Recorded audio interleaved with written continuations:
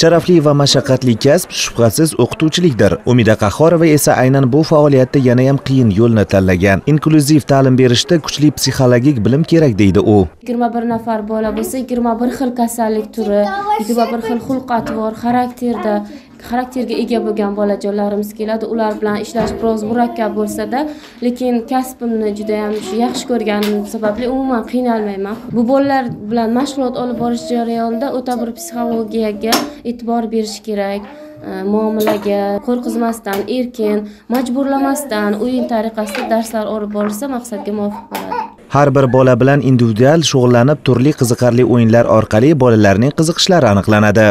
Maktabga boradi yozish nimasini bilardim lekin san'atga qiziqishini rassomchiligini man uni bilmagan edimda u rasmga keldi shu umidaxon yordamida u ranglarni rasmga bo'lgan qiziqishi nima qalamlarni qanaqa ushlashni hammasini o'rgandida bolajonim. Masalan qo'llari ham yaxshi ishlamasdi bolajonimni.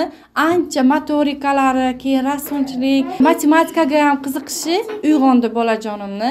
Ha sog'ligida nuqsoni bo'lgan bolalar uchun buxoro yoshlar markazida tashkil etilgan maxsus o'quv mashg'ulotlari ko'plab ota onalarni quvontirdi.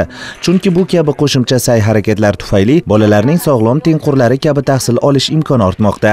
Kasallik turiga qarab yengilroq bolalarimiz e, judayam e, sog'lom maktab talabiga javob berib chiqib ketadi. Bizani guruhdan sog'lom bo'lib chiqib ketadi. Ota onalarni e, munosabati juda yaxshi. Ular ham o'zlari o'rganishadi bemalol darslarni kuzatib o'tirishadi birgalikda.